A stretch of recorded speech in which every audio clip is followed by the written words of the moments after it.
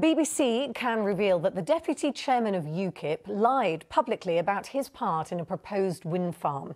Southwest MEP William Dartmouth was personally involved in negotiating a deal which could have earned his family £100,000 a year. But in a television interview, he denied any involvement. Here's our political editor, Paul Barltrop. I said the interview is over. It's not a subject he likes talking about. This was May 2014, and I was trying to find out about a wind farm proposed for land he used to own. William Dartmouth was at the BBC for a recording of the Sunday Politics West, during which he was questioned. And did you know that that land might be used as a wind farm? I don't know. Um, no. All right. No. His party is totally against onshore wind farms. Here's how UKIP's former leader put it.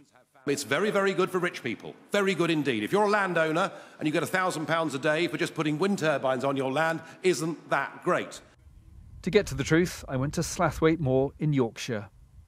The deal to put up wind turbines on this site was agreed in May 2011, just three months after William Dartmouth had given ownership of the site to a relative.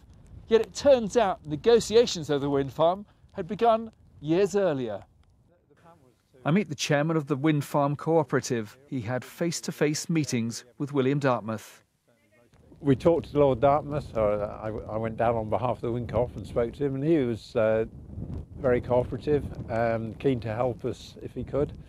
A substantial rent would have been paid. I can't give specific details for this one still, but you might expect to raise fifty to 100,000 pounds per year for the sort of development we were looking at. The revelations have been seized upon by political rivals. It seems that there's clear evidence now that Dartmouth has behaved dishonestly, and obviously we expect higher standards than that from our elected politicians, but it also does smack of hypocrisy. In a statement, William Dartmouth admits his involvement. He says his views about wind farms changed to opposing them, but it would not have been right to let down a local cooperative.